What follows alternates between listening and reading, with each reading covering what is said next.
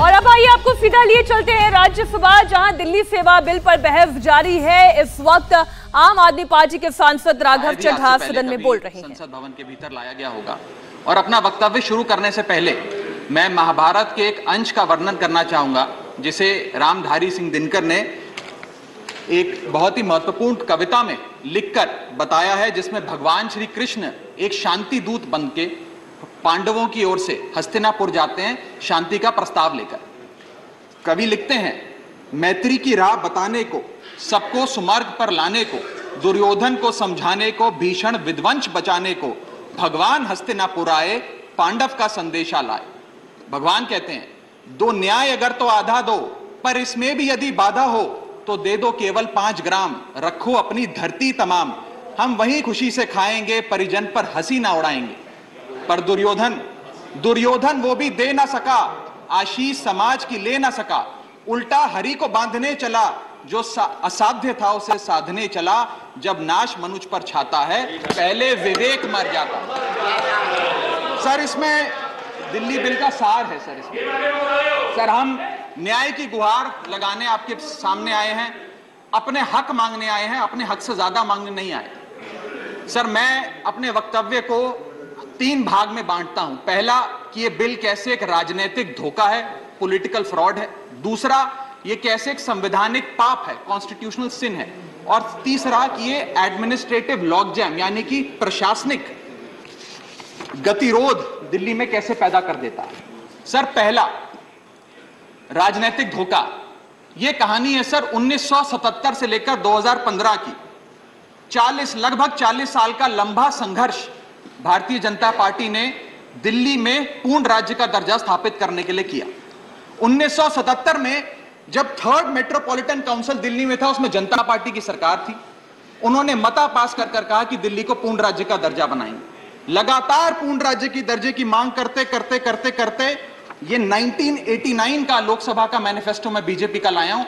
1989 के मैनिफेस्टो में page number 361 पे पॉइंट नंबर 10 पे ये कहते हैं ग्रांट स्टेटहुड टू यूटी और दिल्ली यानी कि 99 1989 से लेकर लगातार ये लोग दिल्ली को पूर्ण राज्य का दर्जा दिलाने की मांग करते रहे करते रहे करते रहे। यहाँ तक कि जब 1991 में कांग्रेस की सरकार ने दिल्ली में विधानसभा का गठन किया, उससे भी ना पर्याप्त मानते हुए लाल कृष्ण अडवाणी जी, मदन लाल खुराना जी, सबने बयान दर्ज कराए कि यह भी दिल्ली के साथ न्याय नहीं है। दिल्ली को पूर्ण राज्य का दर्जा मिलना चाहिए और हम इसके लिए आंदोलन चलाएँगे और लगातार इन लोगों ने संघर्ष किया, आंदोलन किया।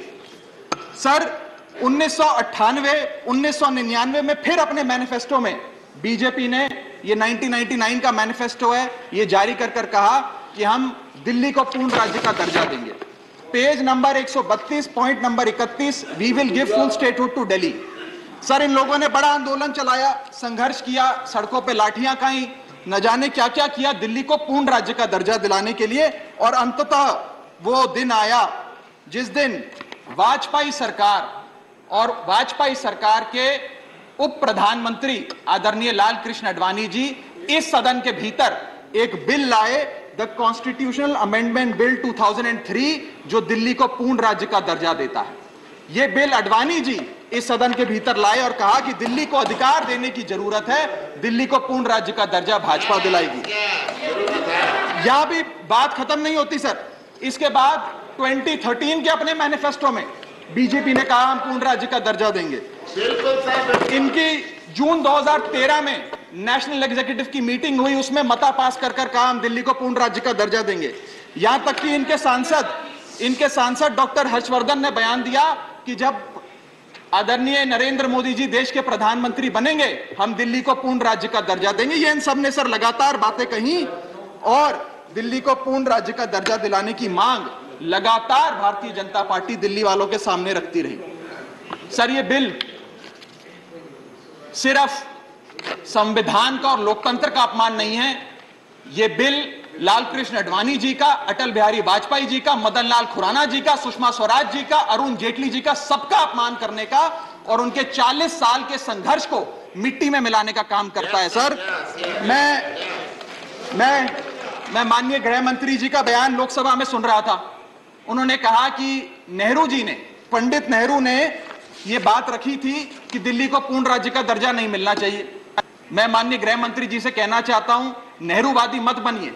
अडवाणीवादी बनिए, वाजपेयीवादी बनिए और दिल्ली को पूर्ण राज्य का दर्जा देने का आज आपके पास ऐतिहासिक मौका है। दिल्ली को पूर्ण राज्य का दर्जा दीजिए। सर, इस बिल को लाने का असल कारण क्या है? यह बिल क्यों लाया गया है? पिछले 25 साल में दिल्ली में छह बार विधानसभा के चुनाव हुए। छह के छह चुनाव भारतीय जनता पार्टी बुरी तरीके से हारी।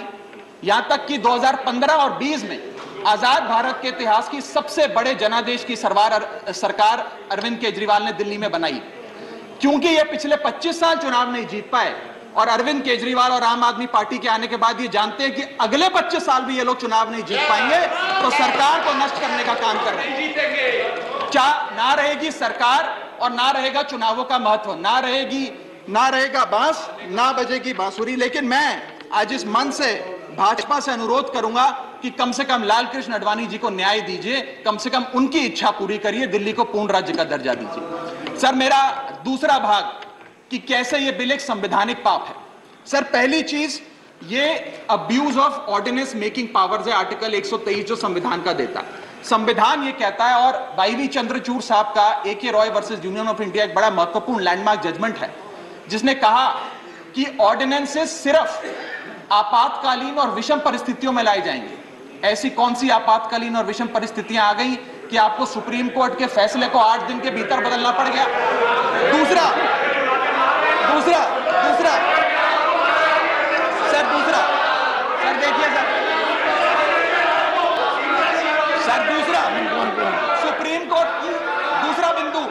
यह सुप्रीम कोर्ट का अपमान है। सुप्रीम कोर्ट के फैसले को आठ दिन के भीतर पाँच जजों के, संवैधानिक पीठ के सर्वसम्मति के फैसले को बदल के आज भारतीय जनता पार्टी ने एक मैसेज दिया है कि हम सुप्रीम कोर्ट को भी चैलेंज करते हैं। सुप्रीम कोर्ट के फैसले को भी नहीं मांगते आपको जो ऑर्डर जारी करना है करो। हम चंद दिनों के अंदर ऑर्डिनेंस लाकर उस फैसले को बदल देंगे। They have challenge the majesty of the honourable supreme court sir और मैं आपको ये कहना चाहता हूँ कि आजकल जो ऑर्डिनेंस लाने की जो एक फेटिश इस सरकार ने देखी, चाहे वो लैंड एक्विजिशन बिल हो, चाहे वो फार्म बिल हो, चाहे ईडी के डायरेक्टर का एक्सटेंशन हो, जो ये सारी चीज़ें ऑर्डिनेंसेस के माध्यम से इन्होंने करी थी, इसका, इस बिल का हश्र भी वही होगा जो सारे पुराने बिलों का हुआ था।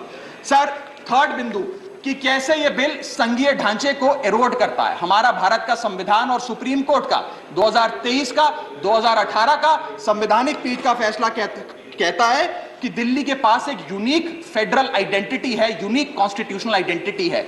और भारत का संविधान जो हमें संघीय ढांचा देता है, जो शक्तियाँ देता है, उन शक्तियों को एनक्रोच करने का काम यह सरकार करती है, हमसे अफसरशाही और तमाम शक्तियाँ छीन कर। मैं आपको सुप्रीम कोर्ट का वो एक वाक्य पढ़ के सुनाना चाहूँगा। The majority in the 2018 constitution जज bench held that while the NCT of Delhi could not be accorded with the status of a state, the concept of federalism is applicable to Delhi. हम पूर्ण राज्य नहीं है लेकिन फिर भी राज्य का दर्जा एक संघीय ढांचे के परिपेक्ष में दिल्ली को मिलता है। उसके बाद सर इन लोगों ने तो कमाली कर दिया। आज बिना संवैधानिक संशोधन लाए संविधान को बदल दिया मात्र एक एक्ट ऑफ़ पार्लियामेंट से जो आज तक शायद भारत के इतिहास में कभी नहीं हुआ।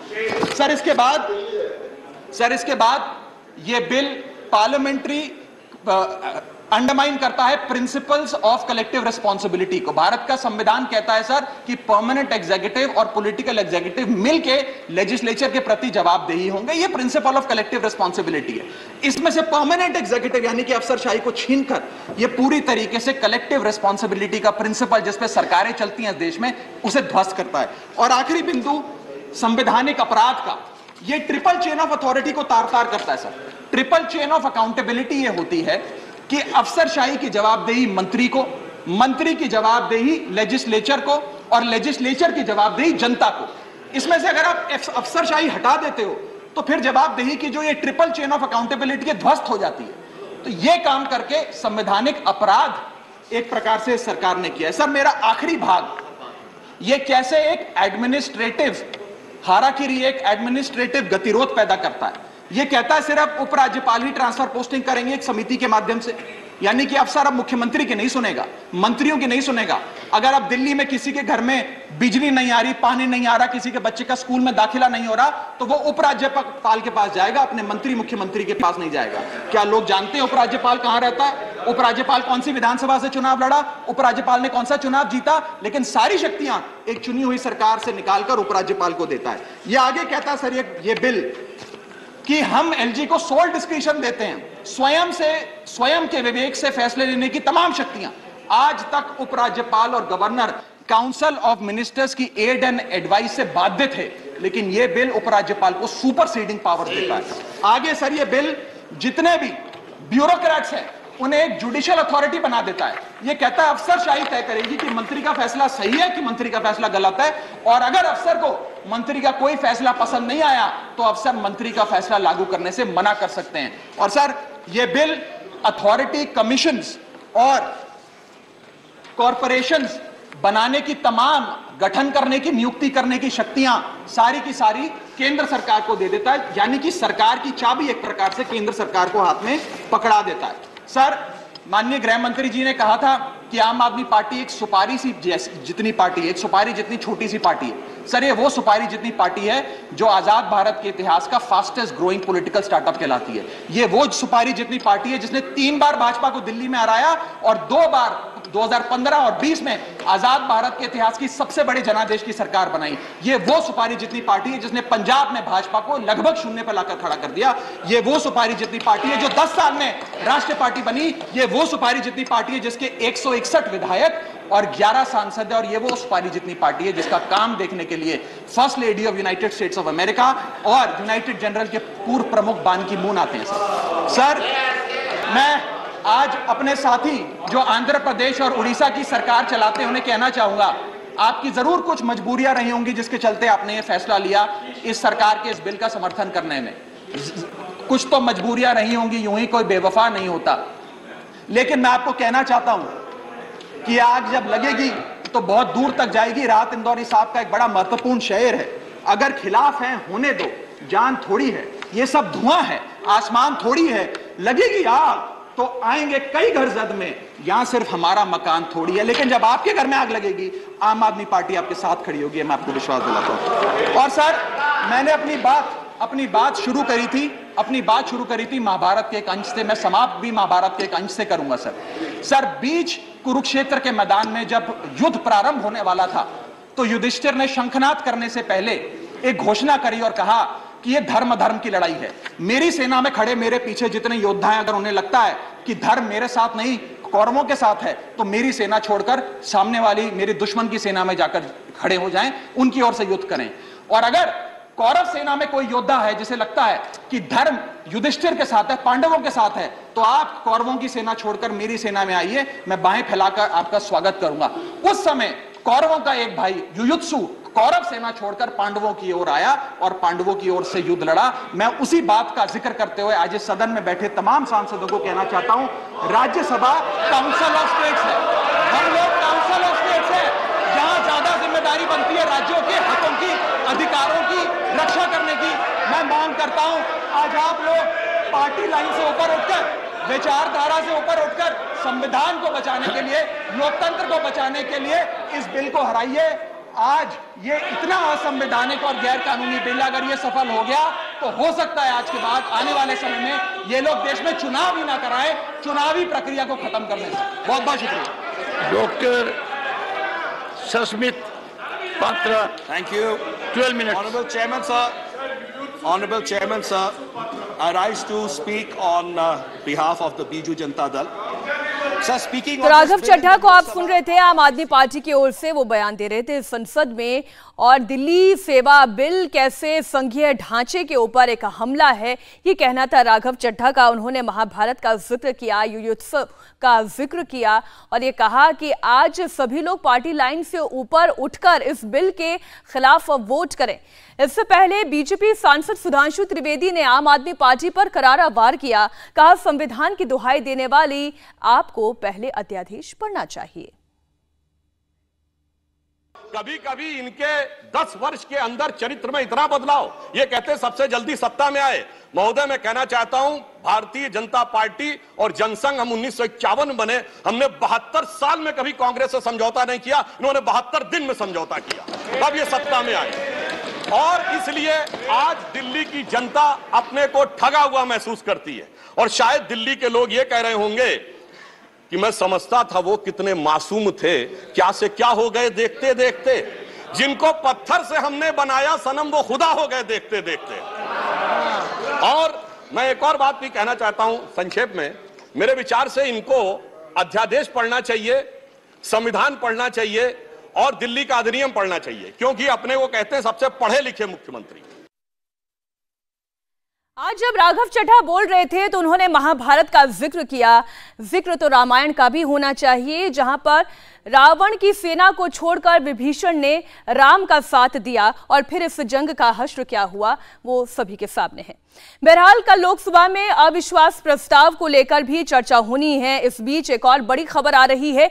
लोकसभा में कल राहुल गांधी अविश्वास प्रस्ताव की चर्चा में भाग लेंगे। राहुल गांधी कल दोपहर करीब 12 बजे लोकसभा में अविश्वास प्रस्ताव पर बोलेंगे। इस वक्त की बड़ी खबर आपको बता दें। राहुल गांधी अविश्वास प्रस्ताव पर बोलेंगे। उनकी सांसदी बहाल होने के बाद वो पहली मरतबा संसद में बोलेंगे और जब बोलेंगे तो सीधा नो कॉन्फिडेंस मोशन पर अपनी राय रखेंगे। जरा आप थोड़ा पीछे जाएँ और याद करें, जब सरकार के खिलाफ 2019 के चुनाव से पहले नो कॉन्फिडेंस मोशन लाया गया था, तब भी राहुल गांधी ने सदन में भाषण दिया था। न सिर्फ़ भाषण दिया था। उसके बाद प्रधानमंत्री नरेंद्र मोदी को उन्होंने गले भी लगाया था। अब जब वो नो कॉन्फिडेंस मोशन पर बोलेंगे तो क्या बोलेंगे, किस तरीके से रिएक्ट करेंगे, ये देखने वाली बात होगी। कल दोपहर 12 बजे लोकसभा में राहुल गांधी का संबोधन है। कल लोकसभा में राहुल गांधी बोलने वाले हैं। अविश्वास प्रस्ताव पर राहुल गांधी अपना बयान देंगे। इस वक्त की बड़ी खबर आपको बता दें। इंडिया टीवी हर वक्त, हर जगह। डाउनलोड करने के लिए सर्च करें India TV news, Google Play Store या एप स्टोर पर।